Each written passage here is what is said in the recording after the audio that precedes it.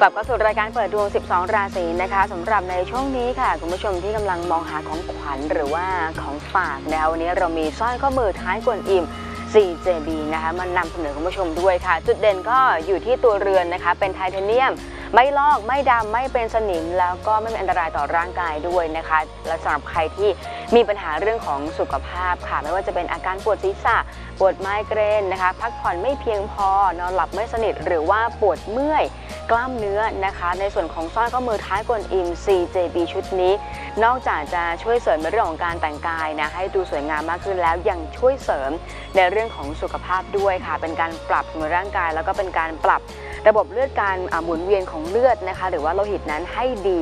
มากขึ้นนะท่านไหนที่สวมใส่ตอนนอนเนี่ยนะคะ เช้ามาจะรู้สึกว่าตัวเองนั้นสมองปลอดโปร่ง นะคะสามารถนอนหลับพักผ่อนได้เพียงพอแล้วก็หลับสนิทมากขึ้นด้วยนะคะ ที่สำคัญค่ะเป็นการป้องกันผลกระทบจากคลื่นแม่เหล็กไฟฟ้า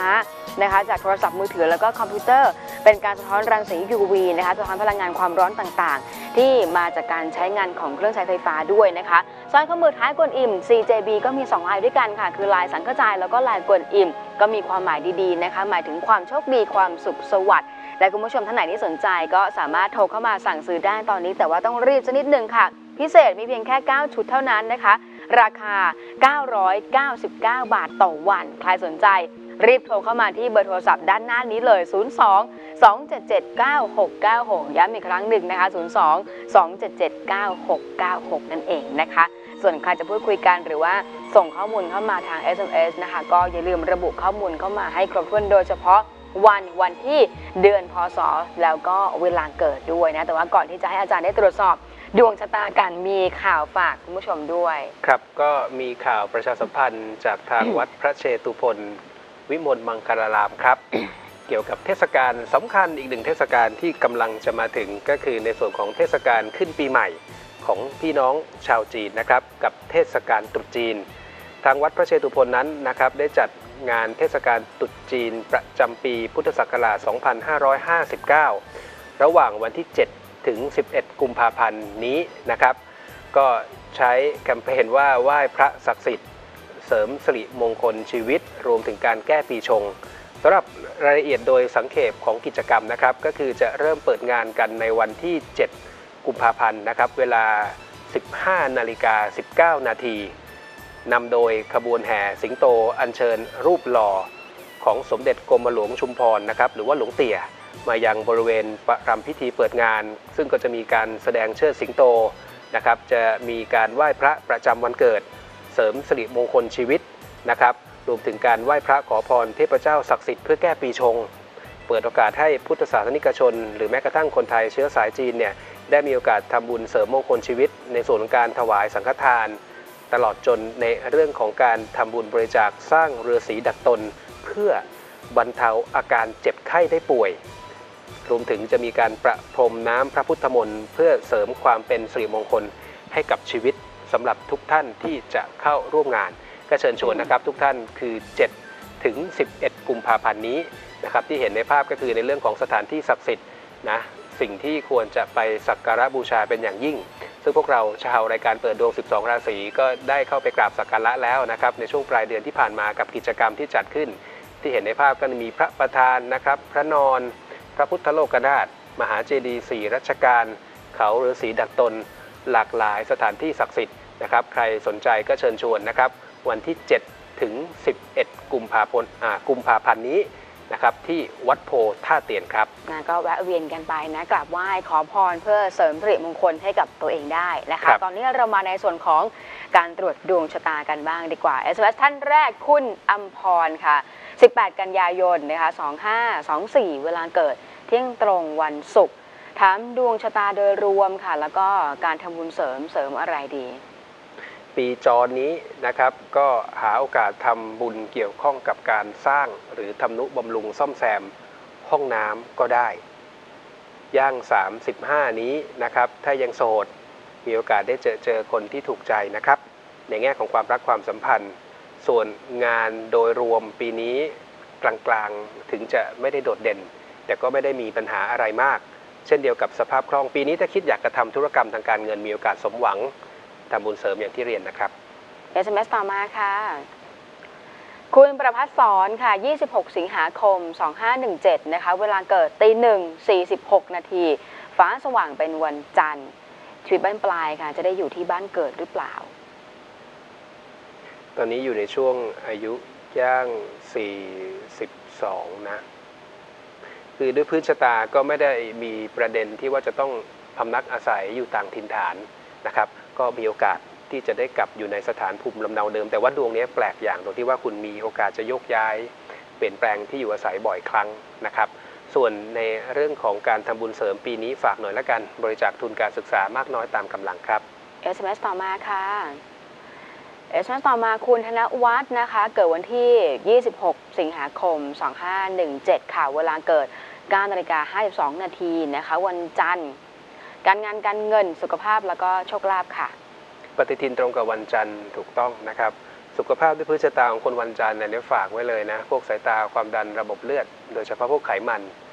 อีกกลุ่มหนึ่งฮะพวกกล้ามเนื้ออักเสบเรื้อรัง อันนี้ผมเป็นอยู่นะส่วนในเรื่องของการเสี่ยงโชค ทั้งปีจรและพื้นชะตาไม่เด่น และปีนี้เป็นห่วงในเรื่องของงาน ระวังมีปัญหาเรื่องคน ไม่ว่าจะเป็นคนที่อยู่ในระดับที่สูงกว่า หรือเทียบเท่า ผมหมายถึงเพื่อนร่วมงาน แม้กระทั่งความรักถ้ามีคู่ประคับประคองให้ดีครับ หาโอกาสถวายชุดสังฆทานยา SMS ต่อมาค่ะ คุณสกุลรัตน์นะคะ 18 มกราคม 2540 ค่ะ เวลาเกิด7นาฬิกา14 นาทีวันเสาร์นะเรียนเอกภาษาจีน เป็นอย่างไรบ้างแล้วก็อาชีพที่เหมาะสมรวมไปถึงเรื่องของเนื้อคู่ด้วยค่ะ ปีจรในเรื่องของความรักจะเข้าทำนองอใช้คำว่าถ้าถ้ามีถ้าเจอนะ จะมีความเปลี่ยนแปลงพลิกผันไม่นิ่ง โดยเฉพาะในช่วงแรก ๆ และพื้นชะตานี้เกณฑ์ความรักไม่ค่อยดี คุณควรจะได้คนที่มีตำหนินะจึงจึงจะคบหากันได้อย่างยืดยาว ซึ่งพิจารณาประกอบกับช่วงวัยณขณะนี้ยังไม่ต้องรีบ ของคุณเนี่ยมีเลยเลขสามไปแล้วค่อยว่ากัน เอกภาษาจีน เนี่ยถ้าทำงานด้านภาษาโดยตรงก็ไม่ค่อยเด่นนะครับ เว้นแต่ว่าถ้าสมมุติว่าทำงานด้านภาษาโดยตรงเป็นไกด์จะต้องมีการจร มีการเดินทาง และกลุ่มพวกจีนเกาหลีญี่ปุ่น พวกนี้ก็พอจะอนุโลมให้มันสมรูป แต่ที่เด่นที่สุดฝากไว้พิจารณาอาจจะไม่ตรงกับฟิลที่เรียน หมายถึงในอนาคตนะครับ ถ้าคุณทำเกี่ยวข้องกับพวกของกินสิ่งสวยงามพวกนี้อันนี้ถ้าต่อยอดได้ถือว่าน่าสนใจ SMS ต่อมาค่ะ คุณก้อยค่ะ 7 มิถุนายน 2514 นะคะ เวลาเกิด 10นาฬิกา30 นาที วันจันทร์จะลาออกจากงานแม่บ้าน แล้วไปสมัครขายขนมญี่ปุ่น ได้หรือเปล่า แล้วก็ถามเรื่องของการเงินด้วยค่ะ มีคนชวนหรือยัง คืออย่างนี้ปีนี้กรรมะเป็นกาลีและดาวเสาร์หมายถึงงานเมดนี่แหละ หรือเป็นคุณแม่บ้านนี่แหละนะครับ เกณฑ์งานใหม่ ถ้าเป็นลักษณะงานด้านการขายจะมีคนชักชวน อันนี้อย่าออกก่อนจะมีสิ่งใหม่รองรับ เพราะเกณฑ์งานมันเสีย 2. ถ้าถามว่าสิ่งที่คิดอยากจะเดินไปทำนั้นฉลกกับพื้นชะตาหรือไม่ ลักษณะงานด้านการขายใช้ได้นะ ไม่ว่า Product จะเป็นอะไร ของกินก็ถือว่าอยู่ในเกณฑ์ที่น่าสนใจ ขออย่างเดียว อย่าเปลี่ยนก่อนจะมีงานรองรับครับ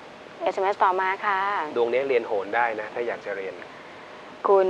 คุณเหมรัตน์นะคะ 11 ตุลาคม 2516 ค่ะ เวลาเกิดตีหนึ่ง 34 นาทีเป็นวันพฤหัสบดีนะถามเรื่องของงานแล้วก็เรื่องของครอบครัวค่ะ ยังเป็นคนวันพุธกลางคืนในทางโหราศาสตร์อยู่ 2 เรื่องนะครับปัตตานีเป็นกาลีและโยงเรือนงานด้วย ฉะนั้นก็อึดอัดหน่อยกับทั้งสองเรื่องราว อาจจะต้องทำงานยากงานที่ไม่ถนัดก็ได้ ความรักความสัมพันธ์กับคู่เนี่ยมีโอกาสขัดแย้งกันมากกว่าที่เคย รวมถึงฝากให้คู่ครอง ระวังในแง่ของอุบัติเหตุรวมถึงตัวคุณเองด้วย พากันไปทำบุญสวายสังฆทานพร้อมกับนะครับ ซื้อกันไกลตัดเล็บ และชวนกันไปบริจาคโลหิต หรือทำฟันขูดหินปูนครับ SMS ต่อมาค่ะ เด็กชายนาราชานะคะ 21 มกราคม 2559 เวลาเกิดเที่ยงคืน 54 นาทีบอกเป็นวันพฤหัสบดีนะคะ ก็ให้ถามอ่าตรวจของตรวจในเรื่องของชื่อ แล้วก็อนาคตเป็นอย่างไร ก็ยังเป็นคนวันพุธกลางคืนอยู่นะครับ นาราชา นาราชา ใช้วักมนตรีนำเลขศาสตร์ก็สวย แก้วสุวรรณค่ะ ตรงตัวนะครับ เมื่อรวมกับแก้วสุวรรณก็เป็นดาวคู่ธาตุดิน ฉะนั้นชื่อนี้ถือว่าเป็นมงคลอยู่แล้ว ก็คงจะไกด์ในส่วนของอาเด็กคนนี้เป็นคนดีแต่ดื้อหน่อย นะครับฉะนั้นการทำอะไรให้เป็นแบบอย่างที่ดี จะเป็นวิธีการสอนที่ดีที่สุดสาขาอาชีพที่เด่นในพื้นชะตาของน้องเขา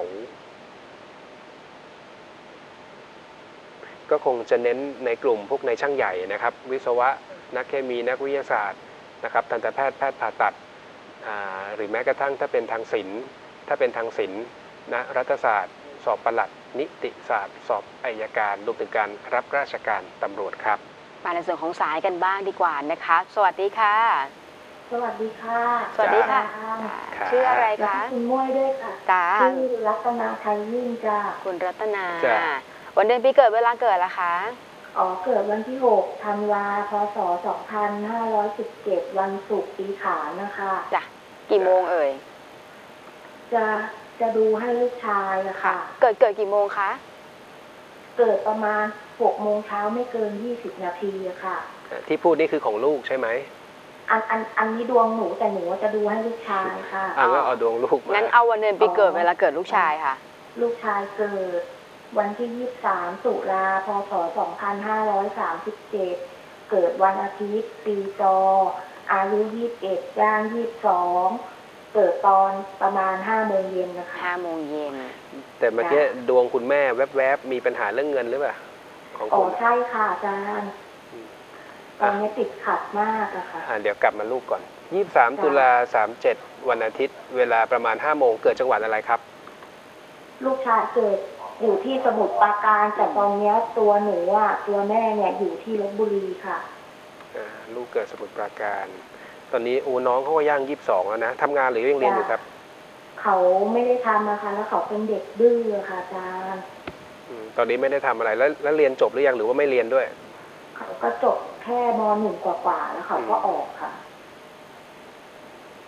โอเค ตอนนี้ย่าง22จ้ะ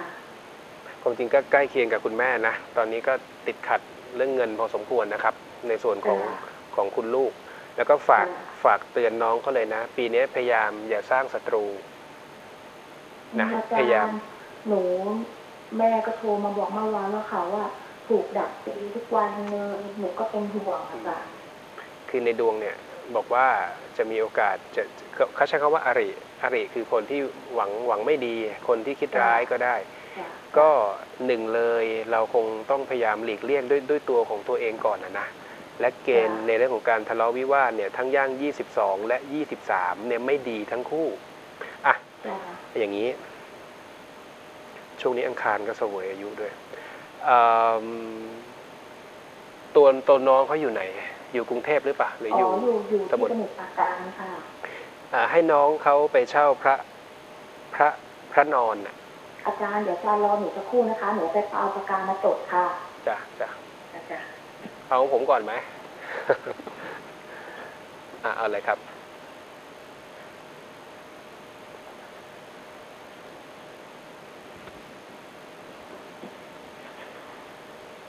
ฮัลโหลค่ะมาอาแล้จาวรย์บอกเลยค่ะ อะให้น้องเขาหรือคุณจะจัดการก็ได้ เช่าพระจ้ะปรางใส่ญาติหรือพระนอนเนี่ย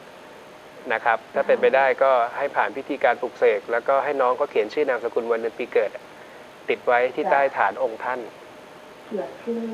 เอ่อนามสกุลวันเดือนปีเกิดน้อง เขียนชื่อนามสกุลวันเดือนปีเกิดเดือนปีเกิด ติดไว้ที่ใต้ฐานติดไว้ใต้ฐานนะครับแล้วก็ให้บริกรรมคาถาทุกวันวันละแปดจบ ติหังจะโตโรทีนัง ติหางจะโตจะโตนะคะจะลงตัวเลยแล้วก็สระโอจะโตรอเรือโลตินังโรทินังถอถุงฮะถอถุงสระอิแล้วก็นัง โลตินังอ่าแปดจบจ้ะนะครับจ้ะแล้วก็ให้เขาไปหกจะพาเขาไปถวายสังฆทานพร้อมกับน้ำดื่ม15ขวด ถวาย ถวายสังฆทานพร้อมน้ำดื่มใช่ไหพร้อมคะกับน้ำดื่ม15ขวด ถวายสังฆทานพร้อมน้ำดื่ม15ขวดสิบห้าขวบแล้วหลังวันเกิด หลังวันเกิดเลยตุลานี้ไปถวายมีดโกน8อัน หลังวันเกิดอ่าเลยตุลาเนี้ยถวายมีดโกน8จะหลังวันเกิดถวายนี่โกนแต่อันใช่ไหมคะจ้ะคืออย่างนี้อันนี้คือในส่วนของโหราศาสตร์ แต่ว่าพื้นชะตานิสัยเขาเนี่ยต้องบอกตรงๆว่าเขาเป็นคนเจ็บและฝังใจนะจริงค่ะอาจารย์เขาผมเป็นคนแบบ แบบเหมือนไม่พูด เป็นคนนิ่งๆแต่ว่าในใจเขาว่าแบบเหมือนเป็นคนแค้นมากอะไรแบบเนี้ย ผมกำลังจะบอกว่าอย่าเอาคืน เข้าใจไหมคือครับเขาเป็นอาจารย์เขาเป็นคนอย่างนั้นเลยแล้วแล้วลูกคนเนี้ยเป็นคนแบบที่ว่า ใครพูดอะไรก็ไม่ได้ แล้วเวลาเตือนเวลาสอนสิ่งที่ดี ลูกชอบบอกว่าชอบทำให้เขาหนักใจ แล้วเขาก็อยากเขาจะผูกคอตายเขาจะฆ่าตัวตายทุกคนก็เลยยอมเขาหมดอาจารอ่าย์ก็ก็พยายามคือใจเขาเป็นเสาเนี่ย บางทีก็เหมือนเก็บเนื้อเก็บตัวคิดอะไรเราก็มองไม่ออก แล้วจะเป็นคนที่ผูกใจเจ็บ ฉะนั้นเมื่อกี้อันนี้ลองลองหาวิธีการดูนะกับคนใกล้ชิด ก็คือเหมือนกับว่าเกณฑ์ในเรื่องของคนไม่หวังดี ในเรื่องของผู้อุบัติเหตุมันมี ฉะนั้นก็ต้องพยายาม อย่าให้เขาอย่าให้เขาตอบโต้อะอาจารย์หนูว่าทุกข์ใจมากเลยอะเพราะว่าลูกกับเป็นคนแบบหัวร้านหัวดื้อมากเลย แล้วแม่ก็เลี้ยงลูกแบบตามใจทุกอย่างอย่างเงี้ยค่ะไม่เป็นไรก็เราเราเราเริ่มกันใหม่ นะก็พยายามชักจูงให้เขาให้ให้เขาทำในสิ่งที่ผมแนะนำและในทางในทางโลกจริง ๆ เนี่ยก็พยายามให้เขาอย่าเอาคืนพูดง่ายๆและพยายามให้เขาอ่าสวดมนต์นั่งสมาธิพยายามทำให้ได้พาเข้าวัดบ่อยๆพาเข้าวัดบ่อยหนูว่าหนูว่าเขาว่าคงไม่ทำตรงนี้แน่ๆเลยๆพยายาแต่มตัวหนูเองอะชอบสวดมนต์แล้วก็แผ่ให้พ่อให้แม่ให้ลูกตลอดอะก็ได้ส่วนหนึ่ง แต่เจ้าตัวเจ้าตัวที่ผมอยากให้ทำเพราะว่าจะทำให้เขาสงบลงเท่านั้นเอง อ๋อจากการสวดมนต์ใช่ไหมคะจะพยายามพาเข้าวัด หรือว่าหาพระพิสุขสงฆ์ที่เอออาจารย์น้องหนูเขาจะพาไปอยู่ค่ะเขาอ่านั่นแหละนั่นแหถ้าละเขากลับจากชลบุรีที่เขาทำงานเขาบอกเขาจะพาลูกหนูไปวัดถึงพูดอยู่เมื่อวานนะคะก็ให้เขาหลีกเลี่ยงสถานที่อโคจรนะครับหลีกเลี่ยงการเอาคืนนะอดทนหน่อยประมาณปีเศษๆเนี้ยนะเดี๋ยวก็จะเบาลอางจารย์แล้วแล้วมีคนทักว่าเขาจะพิการนะมันจะแก้ยังไงได้นะคะ เดี๋ยวเอาทีละเรื่องใจเย็นนะก็ไปทำอย่างที่บอกก่อนอ๋อไป จ้ะทำอย่างที่บอกก่อนจ้นะครับอะเป็นกำลังใจให้ส่วนของคุณแม่เองอะจ้ะจ้ะของคุณแม่เองปีเนี้ยก็เหมือนกันนะ ไปให้ไปแก้เคล็ดทำฟันขูดหินปูนซะหน่อยอ๋อจ้ะอาจารย์นะเรื่องเงินก็ยังเหนื่อยต่อนะแต่ปีที่แล้วหนักกว่านี้ อาจารย์แต่แต่ความรู้สึกหนูเหมือนเหมือนปีที่แล้วหนูแบบช่วงท้ายๆอะหนูแบบเงินเยอะเพราะหนูมีงานทำแต่ตอนนี้หนูตกงานค่ะ ของคุณเพิ่งเข้าธันวานะครับ ปีที่แล้วเนี่ยต้องบอกว่าหมุนไม่ทัน โดยเฉพาะช่วงกลางปีนะใช่กลางค่ะแต่หลังจากนั้นกลางปีที่ผ่านมาเนี่ยต้องใช้คำว่าอ่าหมุนไม่ทันมีหนี้ระยะสั้นนะครับ แต่ว่าเอาเป็นว่าไม่เป็นไรคือช่วงปลายๆโอเคแหละ แต่ว่าย่าง42เนี้ยอาจจะต้องรอให้พ้นช่วงประมาณ อาจารย์หนู42เต็มไปแล้วนะคะ6ธันวา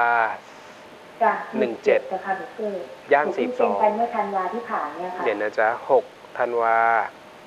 17ย่าง42สิผมเกิด14ผมย่าง45หนูคะอาจารย์ใช่นะคุณเพิ่งย่าง42นะครับจ้ะเอาเป็นว่าในเรื่องของการเงินปีจรเนี้ยช่วงเข้าช่วงประมาณกลางปีไปแล้วเนี่ยจะปรับตัวดีขึ้นจะเหนื่อยน้อยกว่าปีที่แล้วผมยืนยัน แล้วก็จะเป็นลักษณะจะเหมือนกับมีคนให้ความช่วยเหลือนะลองดูผู้หลักผู้ใหญ่ที่เป็นผู้ชาย อ๋อผู้ใหญ่ที่เป็นผู้ชายจ้ะนะก็ไปอาจารย์ไปแก้เคล็ดในส่วนของไปทำฟันฟันคุณผุถึงปูนใช่ไหมคะ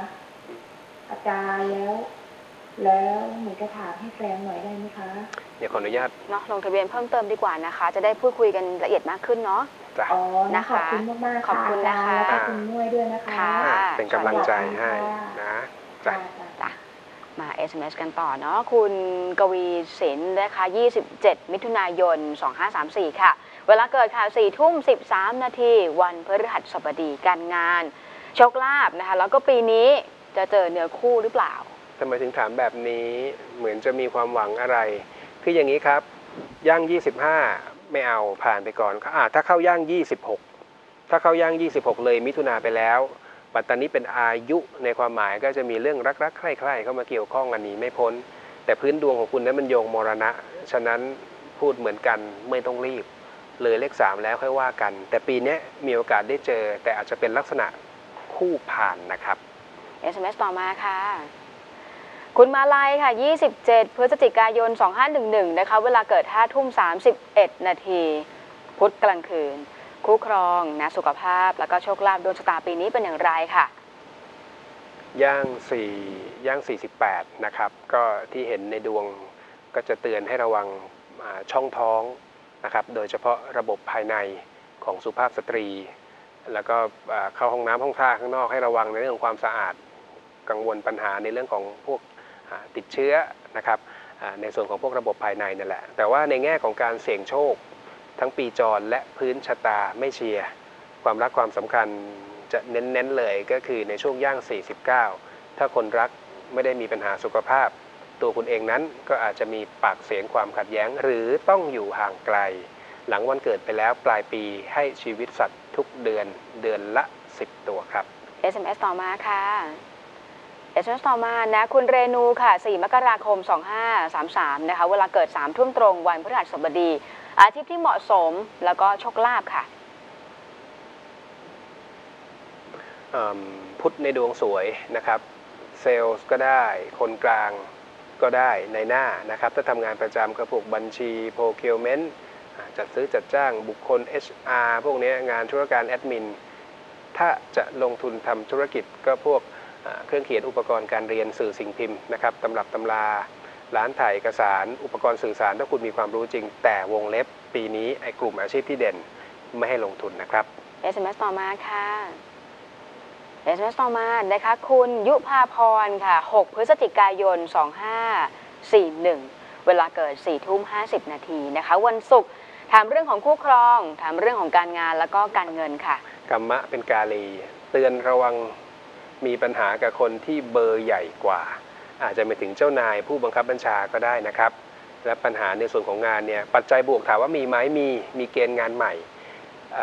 ฉะนั้นถ้ามีความเปลี่ยนแปลงถือเป็นการแก้ดวง แต่พูดอยู่เสมอว่าอย่าเปลี่ยนก่อนจะมีสิ่งใหม่รองรับ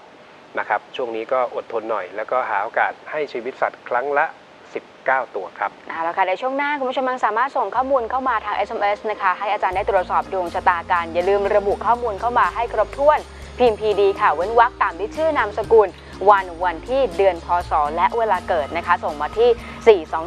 4221606 อยากพูดคุยกันก็รีบโทรเข้ามาลงทะเบียน ที่เบอร์โทรศัพท์ด้านหน้านี้ 024960493 และ 024960494 พักกันสักครู่ค่ะครับ